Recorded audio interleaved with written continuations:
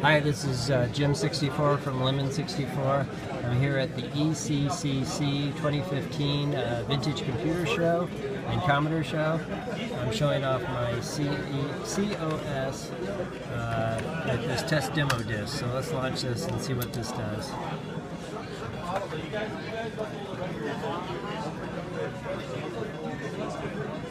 So I've got a normal Commodore 64 here, a normal 1541, Epyx fast load cartridge, and an LCD monitor hooked up.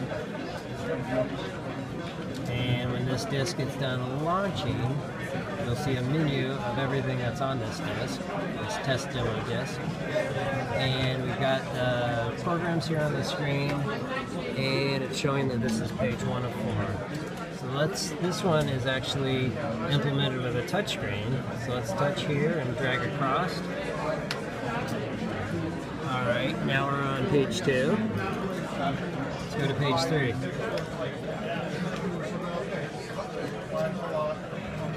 Page three. So let's go back to the main screen.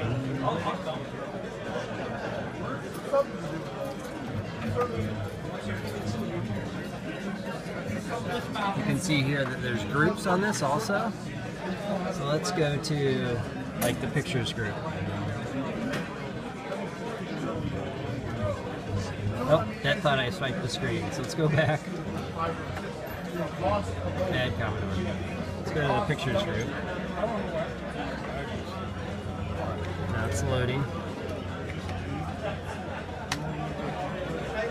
So here's the pictures that are on this disc. Let's go to the music group.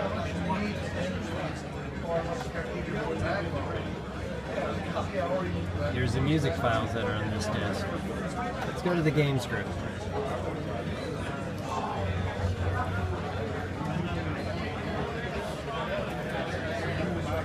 Games that are on this disc. And let's see, if we just want to launch one of these games, we just pick on it. Let's try again.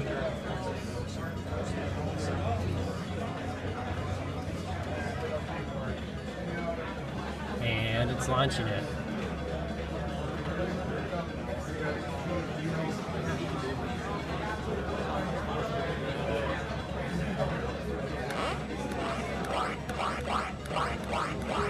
And that's uh, COS for the Commodore 64. More to come.